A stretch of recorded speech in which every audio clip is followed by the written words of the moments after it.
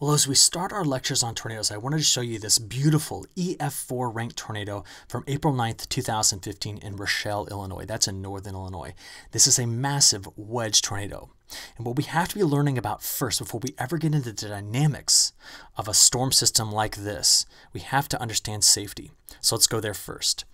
One thing I want you to remember your number one goal is to be in a safe and sturdy shelter. Two, get as far away from windows as possible, which means get to an interior room of a house or a building. Do not stay next to windows. If you have the option to getting below ground, like in a crawl space or in a basement, get there. Get as fast as you can down there and stay down there till the whole thing is over. Basements, it's very rare that you ever hear of a, death or an injury in a basement. In crawl spaces, well, you have the subfloor above you, which is protecting you from the debris, and they're also very safe. Now, if you don't have either of those two things, like for example, I used to have a house that was on a slab, what we used to do is we would go to an interior room. And we only had one interior room in our first house, my wife and I, and it was a closet. And I told my wife, if I'm not there, what I want you to do is if the tornado sirens go off, go to that interior room just like this, get in the closet with all of the coats, and honestly, hug them, hold on to them, wrap them around you. You see, your goal in protecting yourself from tornadoes is avoiding the debris. It's the stuff thrown by the tornado. Do not go to an upper level. I think that's obvious. Interior room or a basement. Please remember that. Now, if you don't have an interior room, in fact, I had an apartment once that didn't have an interior room, we had a rule, and that was get into the bathtub. In fact, um, one of the things I've told my wife is if she can't get quickly enough into an interior room or into our crawl space or into our new home, which has a basement, that when my daughter was younger, I said, go grab her crib mattress, jump in the bathtub with our daughter, and put the crib mattress on top of you. Now remember, all of this is being done only if the tornado's right there bearing down on you. Don't do these things, you know, don't go get in the bathtub with a mattress on top of you if you hear thunder, okay? This is if there's a tornado warning for your location and the sirens are going off and you're trying to be safe. So please don't overreact, but be safe. Now to show you this, here's some pictures I've collected over the years. In each one of these pictures, you're going to notice something. The top uh, floors of these structures has been destroyed. The exterior windows are shattered and destroyed. The exterior walls are destroyed. But the interiors of each of these buildings have been preserved. But I want to make one point. I put this picture in here on purpose, the one in the bottom left.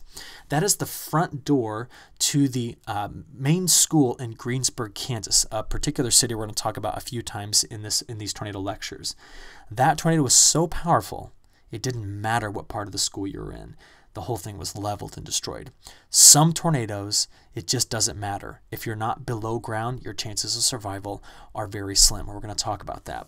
But just to show you some more pictures I've collected, look at this. Looking down from above on, on these two images, the ones that are in the upper right and lower left, we can see that while the second stories were torn off of each, there were interior rooms, like this closet here, and like this interior bathroom that were safe. The walls still stood.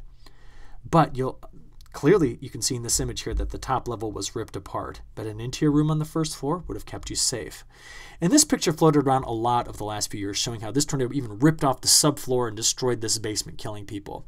But I want to let you know something. This particular house was already condemned. It was already falling apart, so this was not a structure that was already well well built and sound. So keep that in mind. Now, one other thing I want to talk about is what to do if you are on a road. Now, we covered this already with our tornado myth or fact, but let's just come back to this again. When I was a little boy, it was simple. If you saw a tornado coming toward you and you couldn't, you know, and it was bearing down on you, get out of the car, lie in a ditch. Do not do this. Modern cars are designed to protect their occupants. Stay in the car. If you can, drive away. If I was this person, this tornado was coming toward me, I would just basically do a U turn and just drive as fast as I can in the other direction.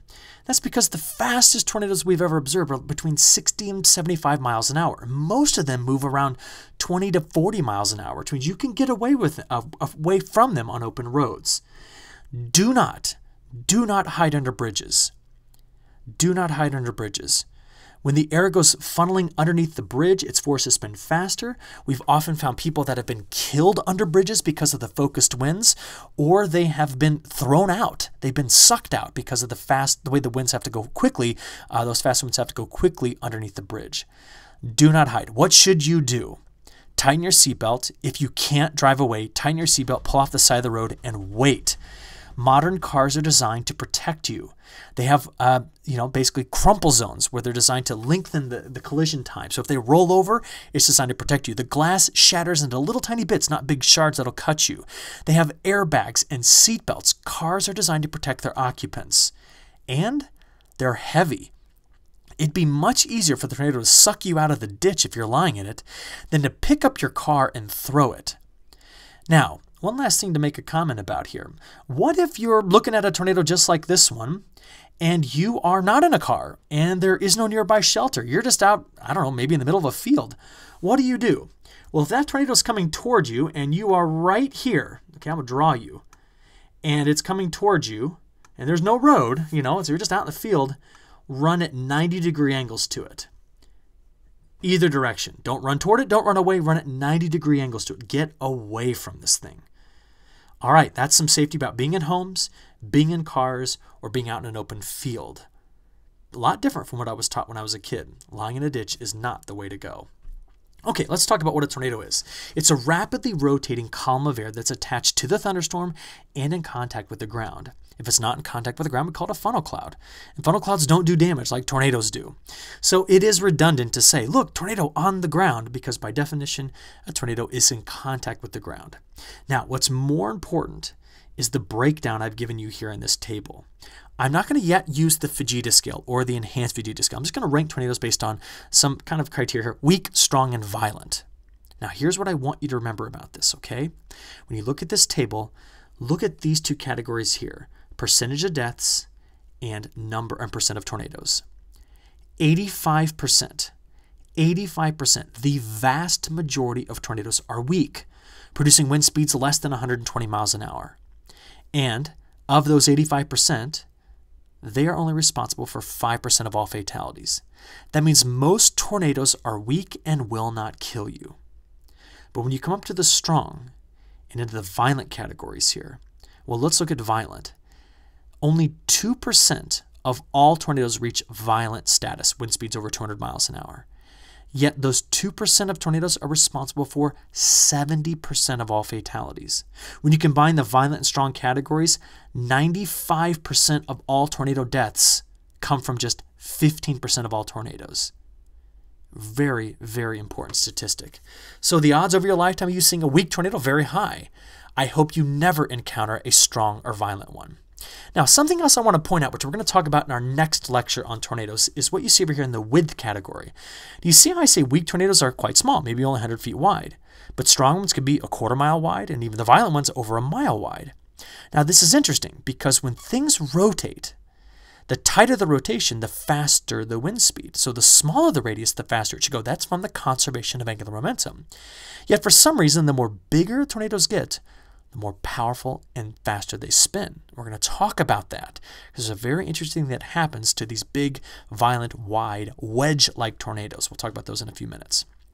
All right, some average tornado statistics. Average size, well, they can range from 150 feet wide, and even smaller than that, all the way up to well over a mile. Uh, typical, average, 100 yards wide. So about the width of uh, length of a football field. How much time do they spend on the ground? Well, we've looked at this. Turns out that on average, they're on the ground for about 10 minutes, and they have a track length of around 4 miles.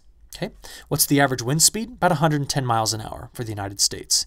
That would give it an EF scale, that's an enhanced Fujita scale ranking between an EF0 and an EF1. In what direction do they move? Well, most of them move the direction that the supercell moves, which is from the southwest to the northeast, somewhere around 30 miles an hour. That would be average. Now, what's the average warning time in the United States? Well, from some current research over the last 30 years, it's around 13 minutes. So when the sirens go off, the average time between when the sirens go off and when the tornado hits a particular location, 13 minutes. But our recent outbreaks over the last five to eight years, we have lengthened that uh, time to around 30 minutes. And there's a lot of very important research going into understanding what longer warning times do. Now, listen to this, okay? Some research showed that if you increase the warning time beyond about 30 minutes, people make bad decisions. They now begin to get comfortable knowing that they've got time between when the warning happens and when the tornado actually gets there. And we surveyed Americans and discovered they'll fill that time by running errands, taking care of things, trying to get something done.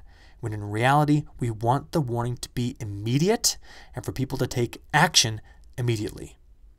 So, our most current research is really not focused too much on increasing warning times, but understanding the dynamics of storms so we can better model them and better forecast them actually days in advance rather than just hours to let people know about the severe weather threat. But when it comes to warnings, the longer the warning time, that's not necessarily a better thing. And how does a tornado kill you? It kills you with debris. Debris, it's the stuff the tornado throws. It throws cars, it throws parts of houses, it can throw, well, pretty much anything. So that's why you want to put as many walls between you and the tornado as possible. That's why you want to stay in your car. The car's a protective shell. Even if the car gets thrown, you have a better chance of surviving being thrown in a car than being thrown by the tornado outside of a car. Okay? Keep all of that in mind. All right, let's get into some statistics about tornadoes and a little bit of history. Here's a fun question Which state was the deadliest tornado in U.S. history? Within which state? Texas, California, Oklahoma, New York, or Illinois? Got an idea? Well, it turns out it's my home state, Illinois. Back in 1925, March 18th, a tornado, which is right now the longest observed tornado track in history, went through southern Missouri, southern Illinois, and southern Indiana. It's called the Tri State Tornado. It killed 700 people, making it the deadliest, the deadliest tornado in U.S. history at 700. Look at this school building here in Murphysboro, Illinois. The top level removed, you know, brick walls, brick walls, cinder block walls destroyed. That's what powerful tornadoes can do. So Illinois has played host to the most deadly tornado in U.S. history. And this is one of my favorite pictures. Look at this. This is a 1 by 6 shoved through a 2 by 4 Incredible to see that, right? A 1 by 6 No, that's a 2 by 6 That's a 1 by 6 shoved through a 2 by 6 That is what the powerful winds of a tornado can do. Impressive to see that. Again, we didn't have the National Weather Service back in 1925, but they would have issued a severe thunderstorm watch and a tornado watch box just like this because all the ingredients came together there. And as you just saw, well, we had the damage and destruction to these buildings and the tri state tornado, the longest lived tornado in U.S. history. Okay, when it comes to looking at tornado fatality statistics from 1940 to 2017, we can see some interesting things here. All right, do you see how before about 1975, which is a line right here, okay, we had a lot of big events, like the April 3rd and 4th, 1974 super outbreak. We had uh, these outbreaks in the 60s, this huge outbreak in the early 50s, killing several hundred people. But after 1975 moving forward, we only had one big event the April 27th, 28, 2011 outbreak, which killed more than about 100 people. Uh, and I want to tell you something. The reason why that we have such fewer, such fewer deadly outbreaks is not because there's fewer tornadoes. No, no, no, no, no. The reason is because of satellite technology. The reason is because of Doppler radar technology. The reason is because of weather modeling. In the 1970s, we saw a rapid increase of all of those. And as a consequence, we're able to better warn people. Still, here are the statistics. Uh, the 30 year average is 69 deaths per year.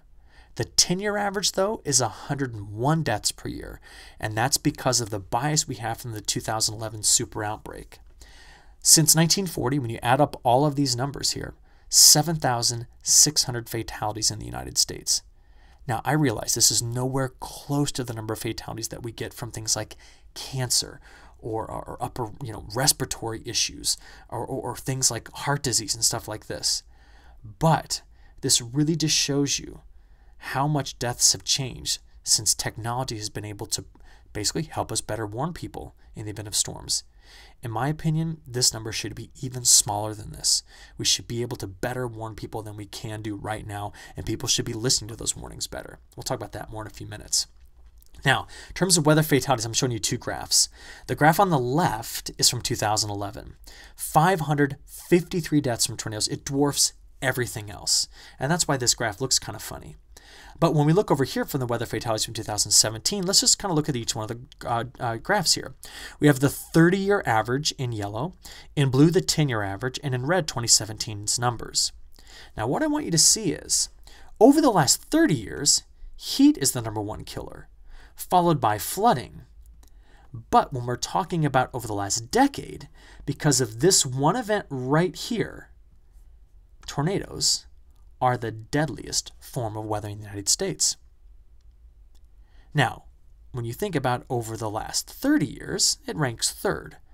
But over the last 10, because of that one big event, April 27th and 20, 2011, it ranks number one. Keep that in mind. Now, 2011 not only had nasty, nasty storms that went through the southeast, but also had this historic storm that went through Joplin, Missouri.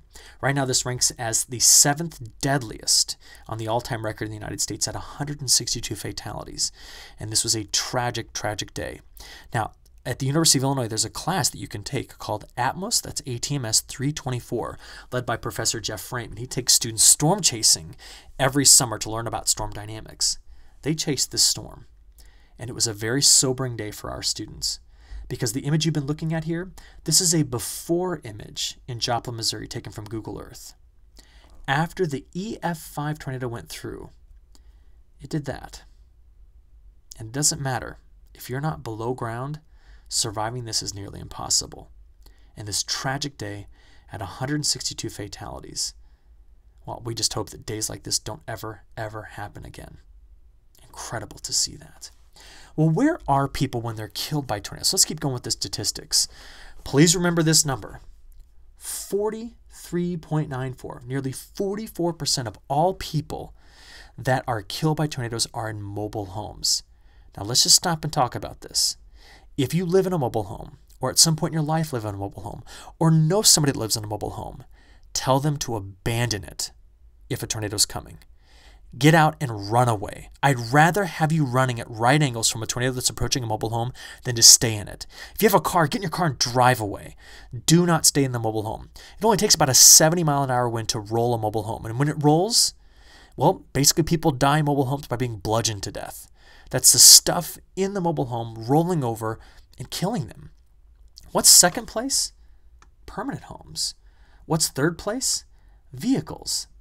Now, why not churches or long span storms like Walmart or, or Lowe's or something like that? Why not outside or at school or permanent structures like big office buildings?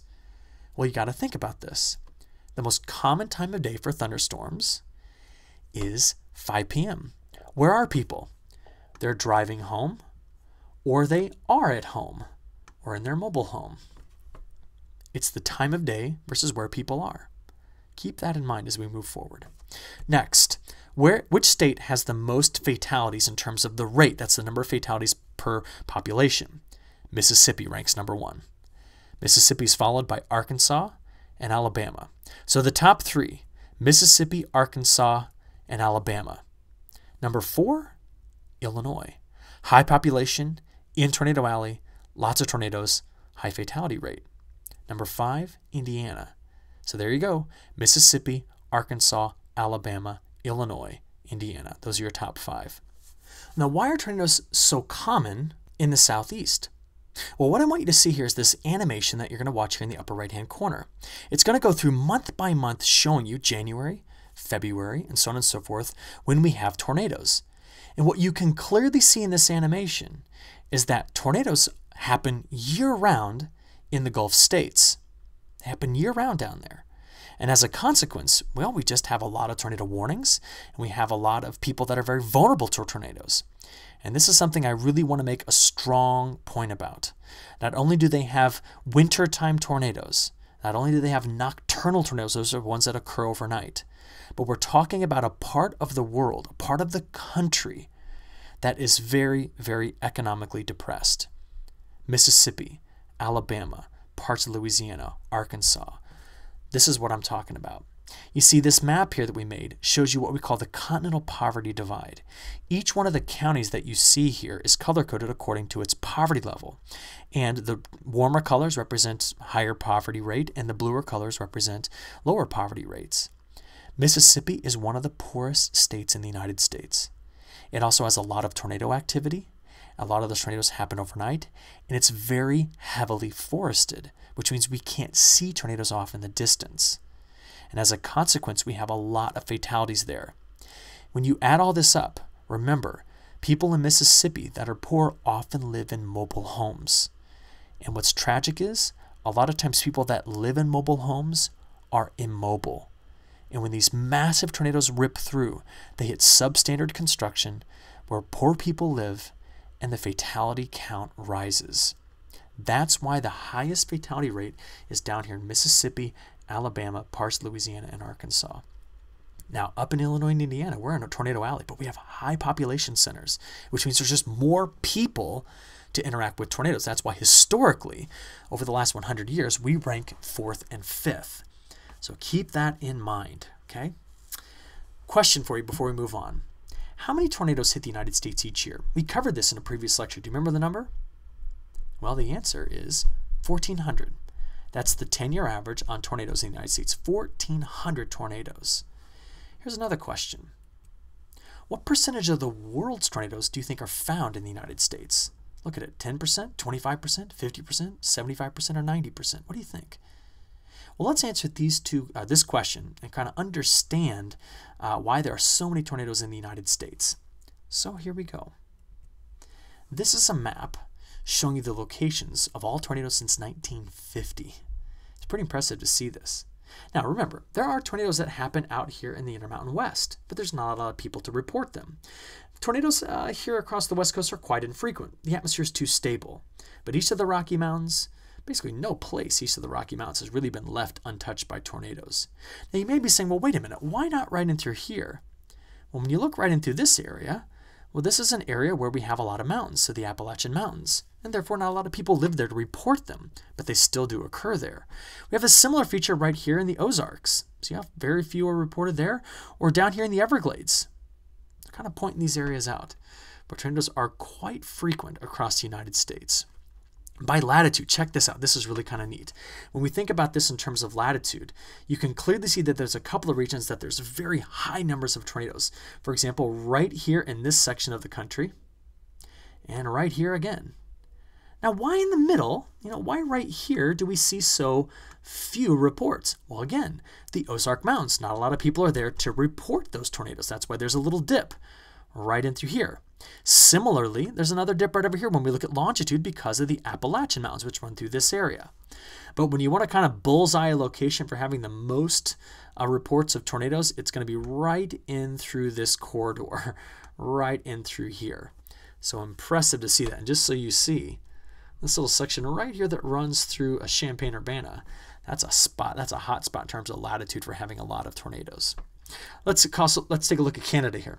Uh, so when we're taking a look at Canada, just know that Canada, just like everything else with Canada, is all concentrated along the U.S. border. And about 5% of the world tornadoes, about 100 per year, happen in Canada.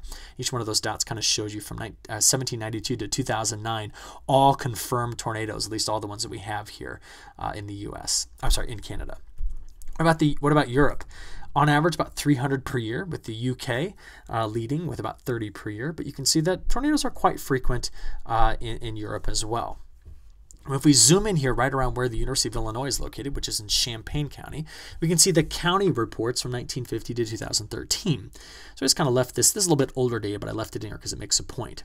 Why does Sangamon County, McLean County, and Champaign County have more reports than any of the other surrounding counties? Well, a couple of reasons. One, those are three big counties. Two, they have big population centers. We have Bloomington Normal here, whereas, which is where Illinois State is located, Illinois State University. We have Champaign-Urbana, where we have the uh, University of Illinois.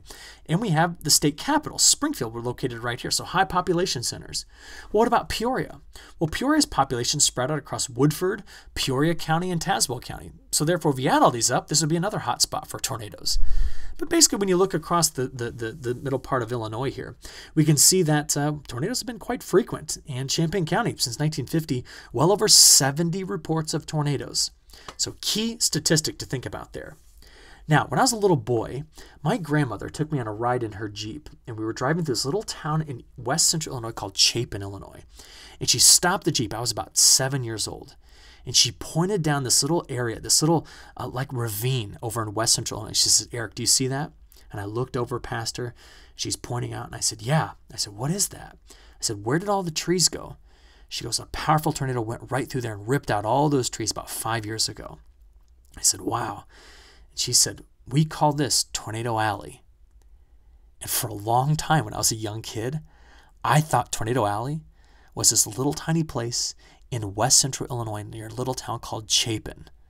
Boy, was I wrong. But maybe that story my grandma told me is one of the reasons why I study tornadoes this, to this day. Well, what is Tornado Alley? Tornado Alley is a region where all four of those ingredients, a trigger mechanism, Gulf moisture, unstable atmosphere, and wind shear all come together. I've highlighted it for you in the map that's just below the red letters there. That's Tornado Alley. Now, when we think about Tornado Alley, I want you to see this map that's over here in the upper right hand corner. Low pressure systems form just east of the Rocky Mountains all the time. I'm showing you one here that's in Nebraska. They have fronts, they have cold fronts and warm fronts and dry lines.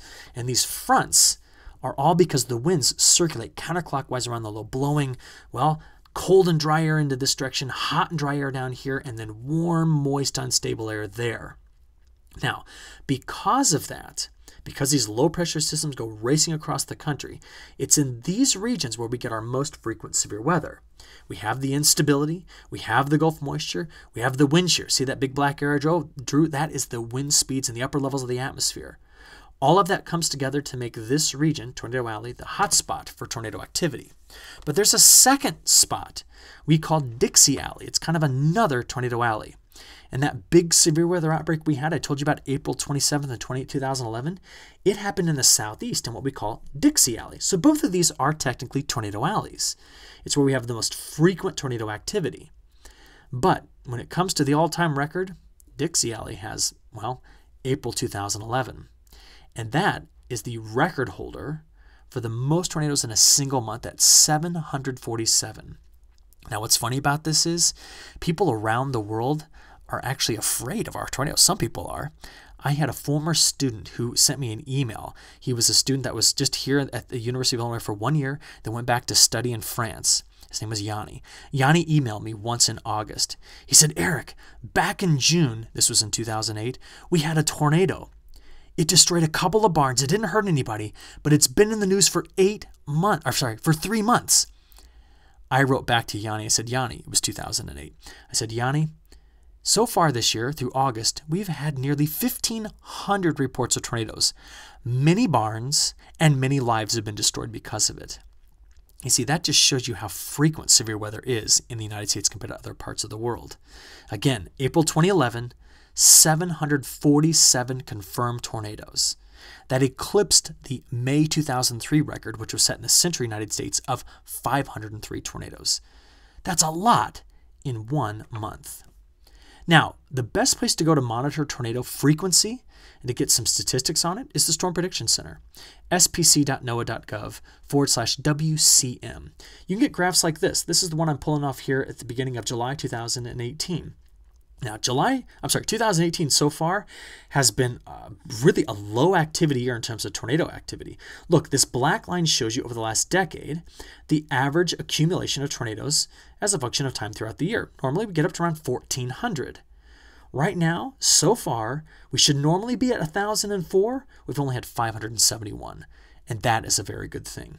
The map that's in the upper right, or the graph I should say, just shows you the last 10 years, each one of them the accumulation of tornado reports.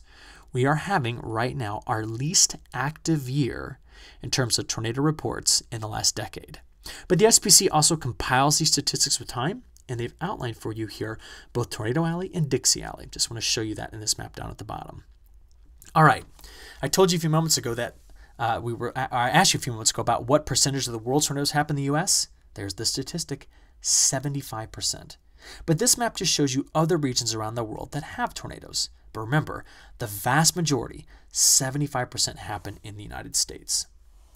Again, one last time, just to show you that nasty severe weather outbreak that happened April 25th through 28th. Well, here we go. What made April 2011 the record setter was really the storm complex that went through when the Storm Prediction Center issued this high risk because of strong wind shear, abundant surface moisture, a powerful front coming through, and a rapidly stabilizing atmosphere. There were in total 355 confirmed tornadoes in a three day time period. Tragically, 348 people lost their lives, and about a month later, another 162 lost their lives in Joplin, Missouri. Total damages $11 billion. What was rare was that there were four EF5 ranked tornadoes, and each of the red dots here shows you just on the 27th each one of the tornado reports. 292. That smashed the record set on April 3rd and 4th, 1974, where we had 148 tornadoes in a 24 hour time period. Now, what I want you to see is this. You often think of Texas and Oklahoma and Kansas and Nebraska as having the most severe weather. But what I just showed you is the two biggest outbreaks of severe thunderstorms producing tornadoes in U.S. history happened in Dixie Alley. See it? Important thing to think about. And by the way, because of these two outbreaks, statistically, April 3rd and April 27th have the highest probability of any day throughout the year of having a deadly tornado. So, if your birthday is on April 3rd or April 27th, be on the lookout for the potential for damaging deadly tornadoes.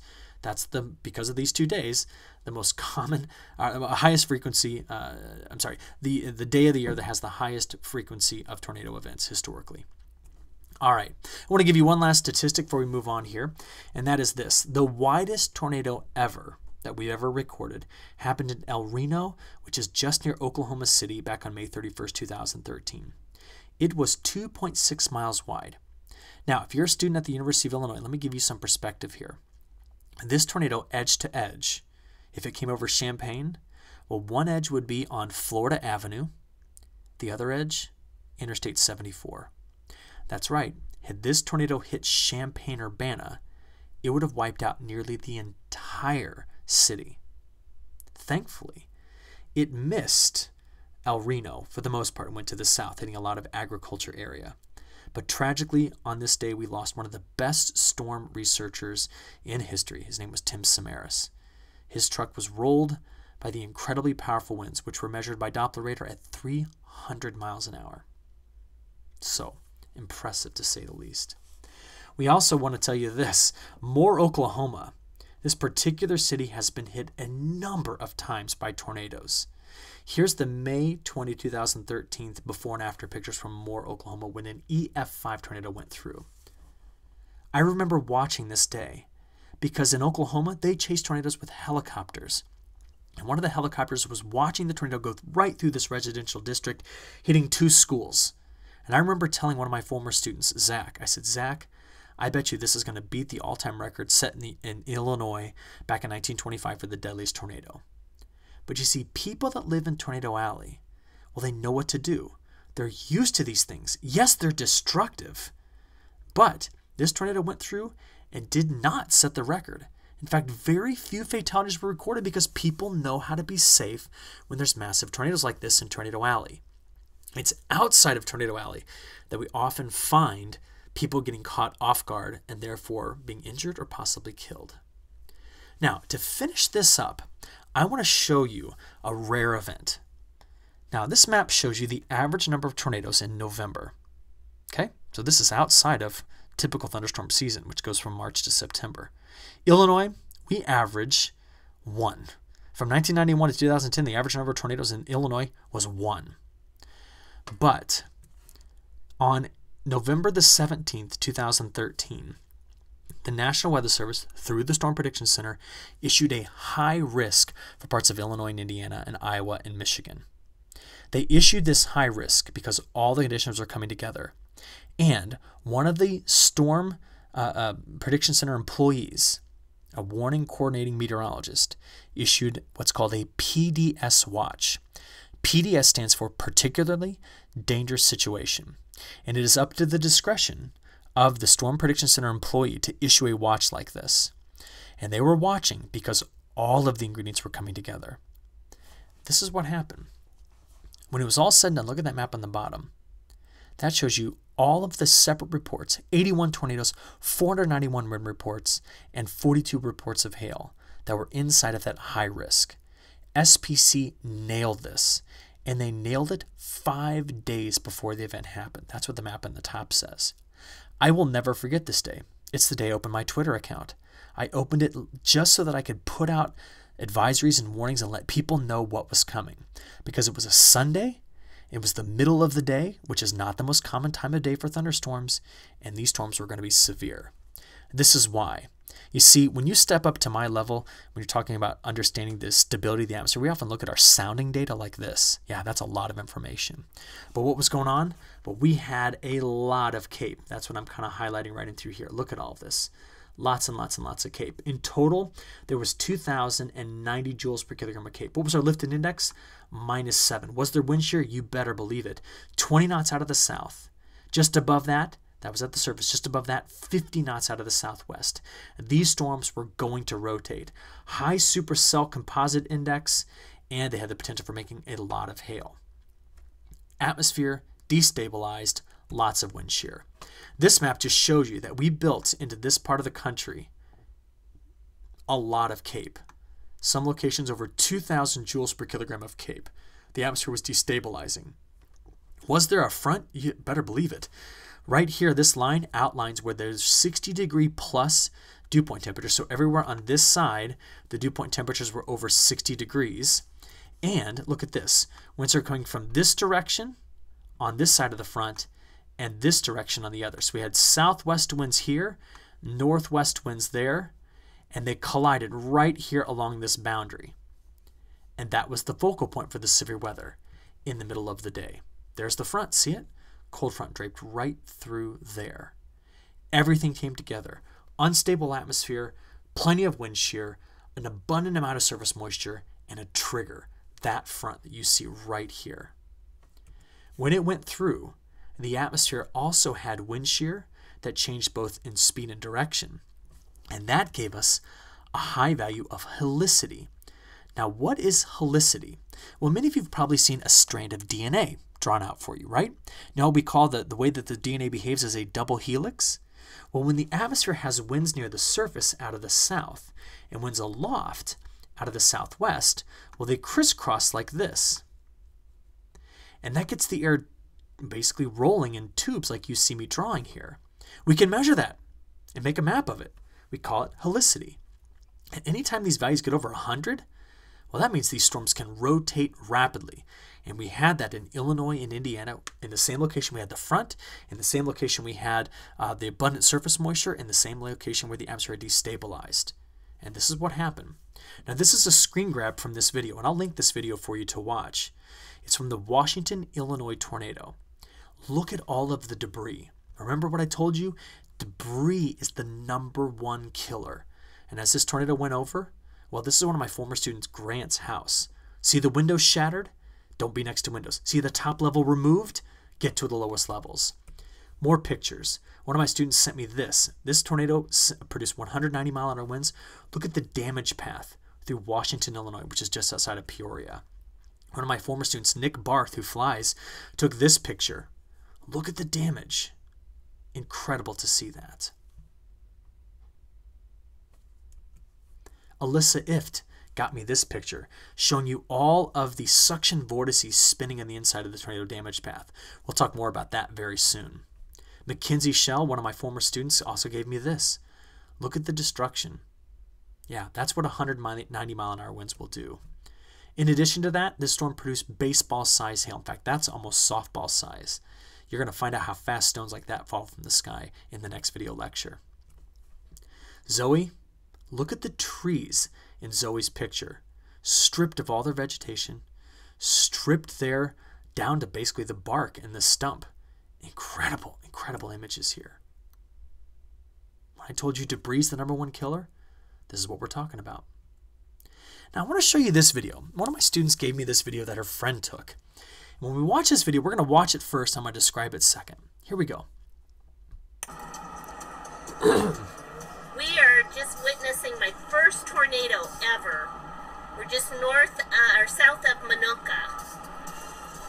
This thing was four separate ones, and now it's turned into one big one. Jim's trying to get us the hell out of the way as fast as he can. Now, she said this was once four separate turns. What's she talking about? Well, in the next video lecture, we're going to be talking about how big wide tornadoes like the Washington, Illinois tornado can actually be broken up into smaller tornadoes called suction vortices. Now, I want you to pay attention to this. She is driving on Interstate 39, and this is a picture of the supercell, okay? And while she's driving on Interstate 30, 39 uh, going south, the video is being taken from right here. So this little kind of outline I've given you, this is the stretch of roadway where we got the video. Now, she's looking in and seeing the T. She's looking into the hook echo, seeing the tornado. And I want you to watch what happens when she drives in to the hook echo. Check it out. Got a little Paul Oh Simon in the God, this background for you.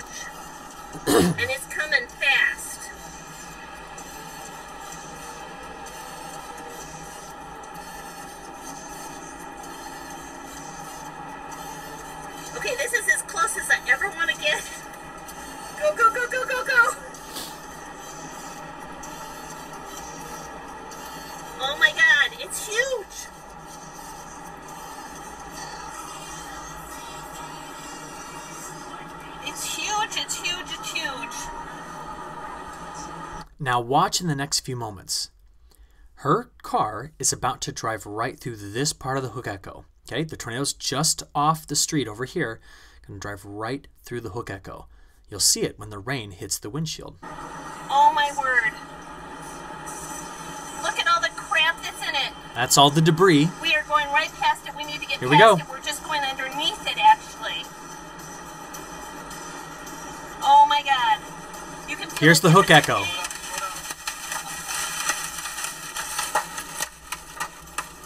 Now, why am I showing you this?